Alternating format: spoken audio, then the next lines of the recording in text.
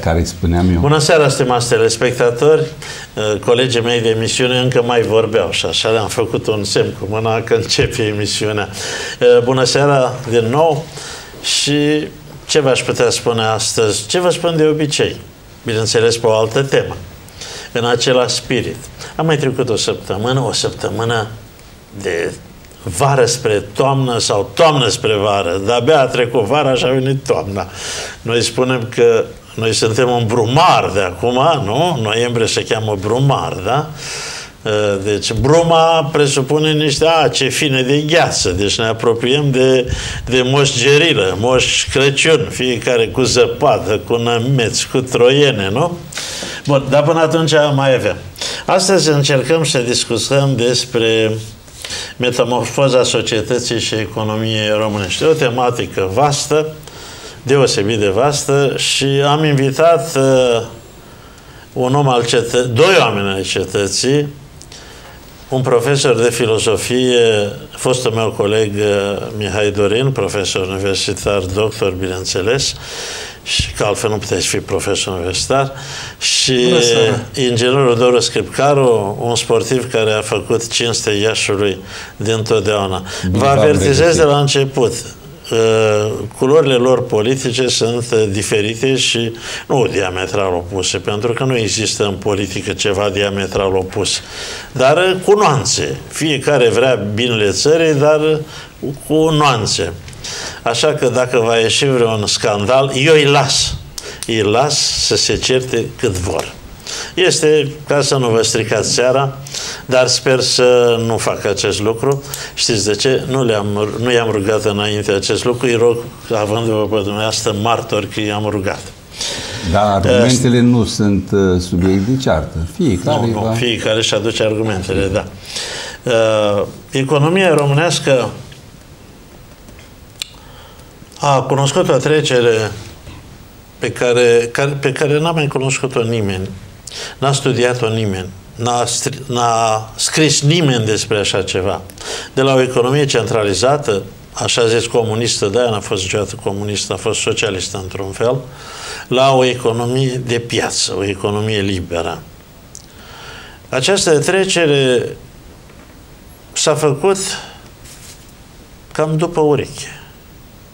Dacă ar fi fost o viziune, viziune clară, cu niște termene, cu niște obiective foarte clare, poate că pierderile ar fost mai mici. Și această trecere ne-a costat. Eram în, înainte de 89 un stat cu o economie relativ puternică, produceam de toate, dar nu toate la vârful calității și... Dar produceam de toate. Uh, și la un moment dat aveam 10,17 miliarde de datorii prin 80-81, reușind ca la începutul 89, în martie, aprilie, nu mai țin minte când, să o plătim. Astăzi avem în jur de 100 de miliarde de datorie și fără nicio șansă de a o plăti în într-o perspectivă apropiată și ar trebui să vedem ce s-a întâmplat, care este problema fundamentală. Și pentru că tema, sau cel puțin acest prim punct, dacă vreți, a fost generată de trecere de la un sistem politic la un alt sistem politic, o să începem emisiunea dându cuvântul pentru prima dată, prima dată domnului profesor universitar doctor Mihai Dorin. Domnul profesor, microfonul vă aparține. Chiar dacă l-aveți în piept, e al dumneavoastră. Bună seara, mulțumesc. Nu știu dacă eu sunt cel mai calificat, dacă nu cumva domnul inginer. O să aibă și el cuvântul. Um, să aibă și el cuvântul. Pe materia metamorfozelor economice eu trebuie să-mi nu este declin competența. Da, dar, dar ești un filozof, Însă, ești un istoric remarcabil. E, sunt filozof tu, în tu, tu întotdeauna ai fost, care noi am fost colegi de asta tutuiesc. Tu întotdeauna ai fost modest. Da. Hai te rog, fii modest în seara asta și spune ce în trebuie. În accepțiunea da. în care odată toate științele erau în uh, interiorul filozofiei, așa sunt și eu filozof. Sunt uh, în, în realitate, după, după standardele și criteriile actuale ale epistemologiei, sunt istoric. Eu, uh, ca să mă refer la metamorfozele societății românești, trebuie să pornim de la observația că societatea românească, dacă includem schimbarea în metamorfoze, nu? O să vedem dacă îi punem semnul plus sau îi punem semnul minus, o să rezulte din dialogul nostru, sper, fructuos. Da, putem, da putem România spune... s-a schimbat din punct de vedere social, incontestabil. Sunt convins că veți întări schimbările economice, de altfel introducerea lasă să se întrevadă uh, această dimensiune a schimbării. Asta este Societatea subiectul emisiunii, economia, sigur. da. Societatea românească s-a schimbat atât cât i-au permis împrejurările istorice. Sub genericul acesta includem desfășurările... Condiții externe sigur, și interne, da? Exact. Desfășurările politice, interne și internaționale. Cât i-au permis oamenii pe care România i-a avut calitatea și calificarea lor să lucreze pentru o schimbare și, evident, un coeficient important în această ecuație a schimbării au avut-o decidenții politici. Și aici e clar că avem o plajă foarte generoasă de subiecte în care putem să abordăm chestiunea metamorfozelor și cred că putem să ne descărcăm de partizanate politice și să încercăm să privim uh, eu cu ochii istoricului, domnul inginer cu ochii specialistului în, uh, în, într-un domeniu aplicativ, nu? domeniul economiei practice, și să vedem cum s-au produs schimbările acestea în România, dacă ele au fost suficient de Uh, dinamice și au răspuns așteptărilor societății românești sau am acumulat întârzieri care ne pun în situația să accelerăm ritmul sau să stăm, să mai cumpănim și să vedem totuși încotro se îndreaptă România. Prima și cea drumul mai importantă... La, drumul, drumul l-am ales. Sigur. Prima și cea mai importantă metamorfoză este aceea că România și-a redescoperit masiv și foarte determinat vocația europeană.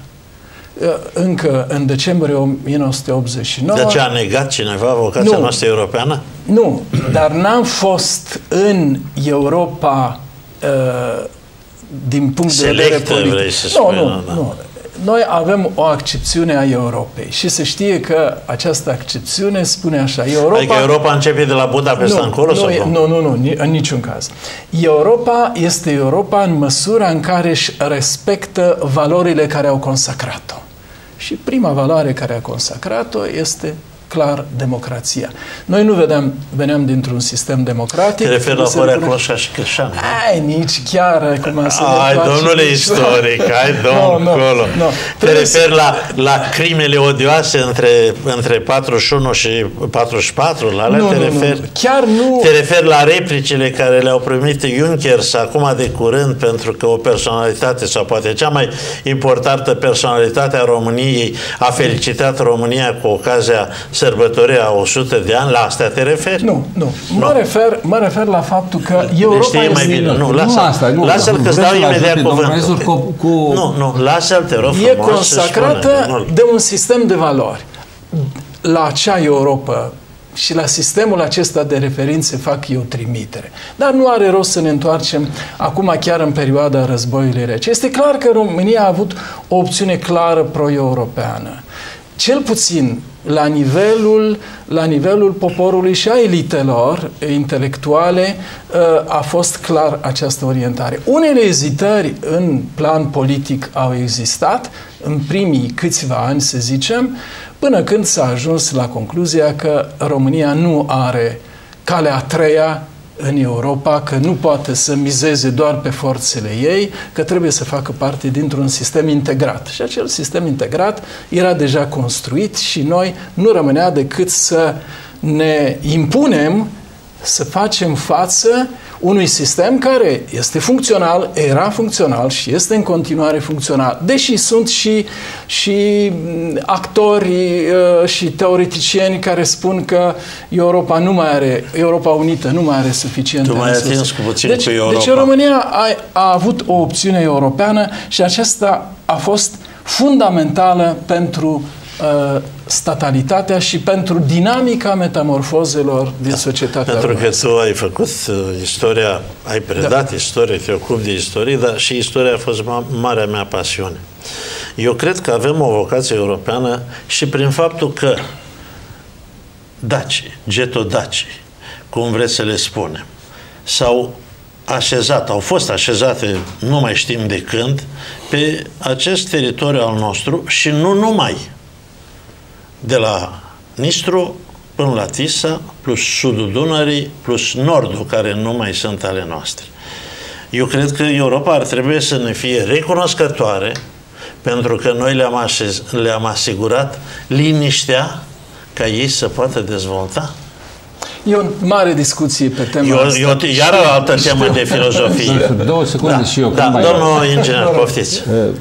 Nu două secunde, aveți Da, timpul da. dumneavoastră, da. Domnule Soar, în raport cu cunoștințele dumneavoastră în domeniu și de specialitate, nu are sens să spun că vreau să vă contrazic, însă sunt obligat să fac uh, alături de domnul profesor să fac niște trimiteri. Deci, uh, dacogeții au ajuns până în Asia, după niște documente vechi de istorie.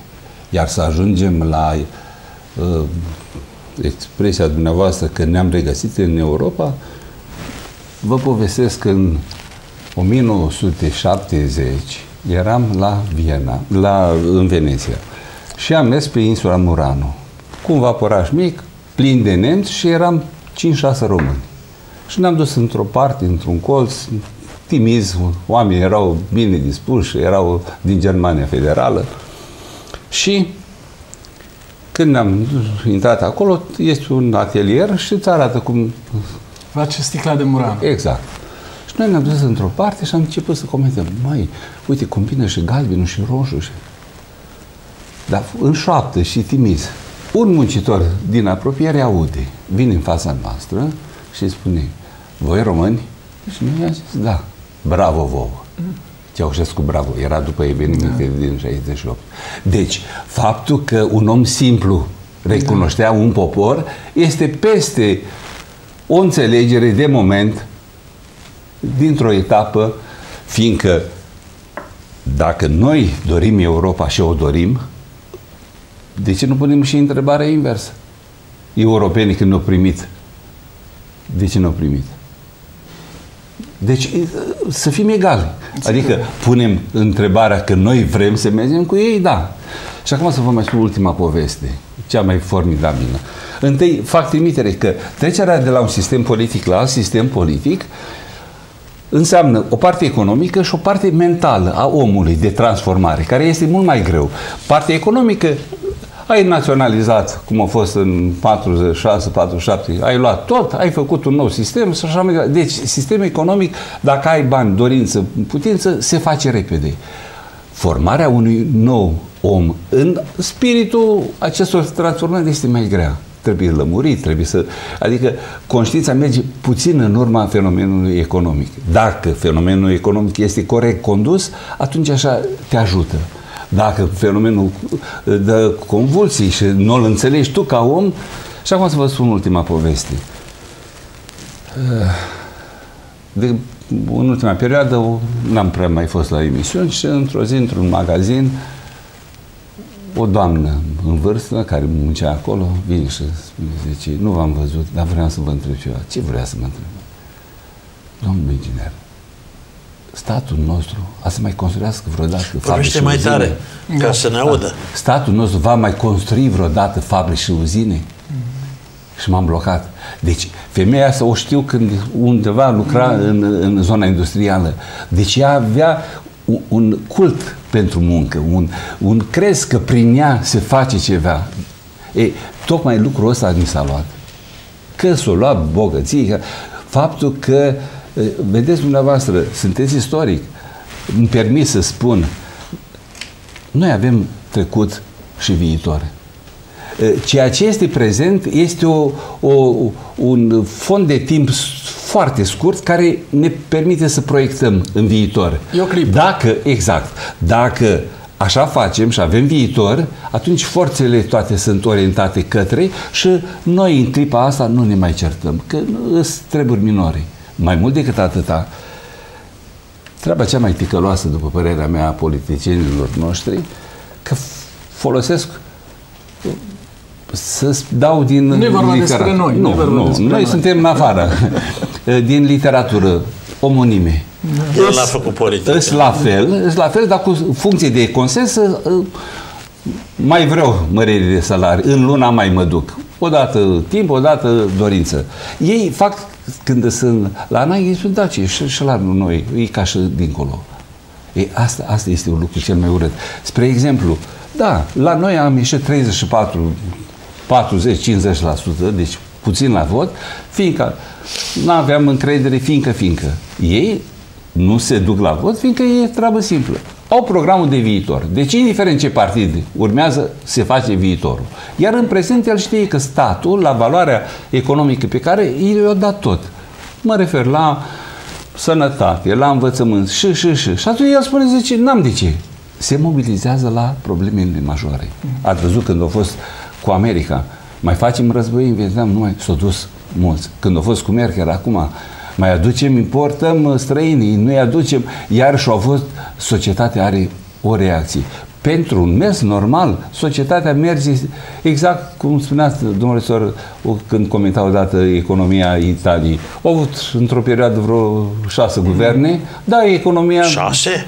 Multe au fost într-un an de zi. Așa, dar economia a mers foarte bine. Deci părerea mea este următoare, că în mod deosebit trebuie să ajungem la normalitate. Și normalitatea constă în a avea o legislație perfectă. Perfect înseamnă să o înțelegi, să se aplice și să te conducă. Adică în atitudinea pe care o ai, dacă știu că respect legea, știu că îmi merge și bine, știu că progresăm. Asta este o primă treabă. Gândiți-vă dumneavoastră, am citit și am văzut un anunț în Oradea să aduce forță de muncă din India. 95 de oameni adus din India cu un salariu cel puțin de 4.000 și ceva de lei. Când la muncitorul nostru cel mult îi dă 1200 de lei. Deci înseamnă că este Îi o... dă mai mult acum, nu? Domnul profesor, lăsă, da. îi dă mai mult, dar făcând 1200, 1500 da. cu 4000, nu, haide, ce facem pentru al nostru? Adică da. ne este mai convenabil, fiindcă pe el îl aducem când vrem, nu avem probleme cu el, nu ies în stradă, l-am folosit și îl trimitem înapoi și plătim ce incompetența cu bani? Că da. practic asta înseamnă. Eu vă spun, în viață și domnul profesor o condus mulți oameni. Da. Singura treabă cu omul era să fii tu corect și să-i spui clar de ce îi cer lucrul acesta și atunci totul era perfect. Noi acum, astăzi, dacă facem o analiză, nu știm despre ce este vorba. Deci, da. Unul spune că este corect, unul spune că este incorrect și atunci cum vedeți dumneavoastră ca istoric metamorfoza? Mai mult decât atâta, a fost o treabă penibilă la dialog social și o spun acum. Mi-am permis să spun, domnilor, ce facem pentru centenar? Ce facem? Și eu am spus că nu, nu mi-a plăcut mie ce, acel motou. Am zis că nu este, un, nu reprezintă un an 1918-2018. Asta sunt 2 ani. Dar fapta este 1 decembrie. Avem curajul. Fiindcă e un eveniment istoric, nu-i politic. El s-a întâmplat. Nu mai poți să schimbi nimica. El a fost. Și dacă a fost însemnat România Mare, niciunul nu îndrăznit să facă harta. Așa au fost atunci. O Românie mare, cu Bucovina, cu... Nu? Ei, vedeți, treburile astea, mi s-a spus că e politică. Nu, dragă, politică este fapta noastră acum și legea care o dăm pentru viitor. Deci, politicul în raport cu istoricul doar ne ajută învățând istoria, să vedem ce facem, cum facem proiecția de viitor. Dar ca să spun că o faptă trecută este un element politic doar dacă vii cu revidecări, că vreau să fac înapoi, ai altceva. Dar dacă nu mă faci trimitere, acum da. 100 de ani s-au adunat la Blaj niște români adevărați. Și atât. Nu? Da. Mai mult decât atâta. Cu groază mă uit că noi nu avem curajul la, în alta curte europeană să vorbim. Iar uh, ungurii vin și spun că ce înseamnă asta, 100 de ani și așa mai departe. Adică uh, unii își permit în istoria noastră să intervină când istoria este așa cum a fost, nu? Bela Kun, când a fost și a vrut să le facă așa, noi i-am ajutat. Nu i-am ajutat? Păi, și atunci... L-am dat jos pe de la cum. Păi tocmai, tocmai. Nu, nu l-am ajutat, că vreau și ei Marea Revoluție uh, Socialistă Numai să o că facă. vedeți, domnule inginer, în contextul ăla, Ungaria era folosită inclusiv de Lenin, pentru care se știe că a fost teoreticianul uh, uh, sfârșitului uh, imperialismului și a, a, a continuității istorice obligatorii prin comunism. Uh, Bela Kun a lovit în numele internaționalismului proletar. Da. Deci Ungaria, practic, a atacat, a da. atacat da. România.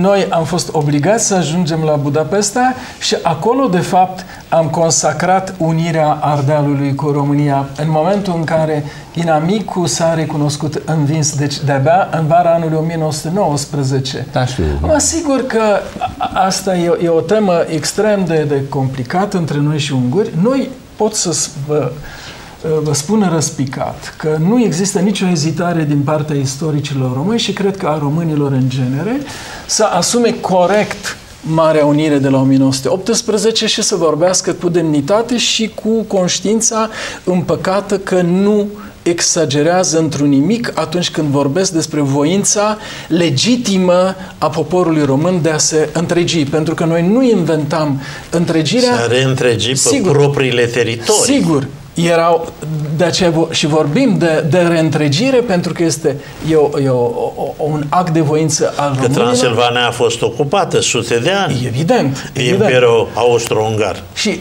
sau Habsburg. Iar romanii când au venit, ne-au găsit acolo, nu? Daci au fost acolo. Ei, nu? bine, dar fără romani noi nu ne mai puteam numi români. Este clar că fără acest aport semnificativ care a însemnat cultura română, pentru că noi vorbim despre romanitatea românilor, mai ales din punct de vedere cultural. Sigur că stratul a fost cel dacic, dar cultura prin care noi am ne-am definit ca uh, entitate uh, etnică este cea latină, este clar. Este un bagaj extrem de important nu, nu putem să omitem din ecuația noastră latinitatea care ne-a așezat într-o mare civilizație a Europei și ne-a creat, Iar, iarăși mă face să vă întreb o, ceva. o identitate Lasă să vorbească, domn profesor, te-a lăsat. Domn profesor, nu, dar, nu, nu, lasă, la, la Turda știți da. că a fost un castor roman? Da, bine, sigur că Așa. da, numai la Turda. Dar știți că ca să-l găsești, da. mergi o zi prin oraș, niciun indicator. Iar când ajunge oh, acolo, da, da? Aici, și atunci da. de ce vorbim? Și la Napoc da, a fost. Și, la, da, sigur. Acum... și atunci, de, de ce nu ne cuno- recunoaștem greșelile? Da, Că nu am bine. făcut nimic. Nu, aici... Să arătăm cu nu cu tupeu, cu, cu mândrie. Aici este mai mult vorba de o chestiune de marketing cultural și turistic, domnule inginer. Dar când vine vorba despre uh, unitatea românească și despre dreptul românilor, cred că uh, românii au uh, o viziune foarte coerentă, foarte clară și onestă în același timp. Nu uh, vor, nu sunt revendicativi, nu folosesc actul uh, unității naționale spre a discredita alte, Domn profesor, alte națiuni. sunt unele drepturi pe care nu le avem voie să le comentăm. Care? Că sunt român.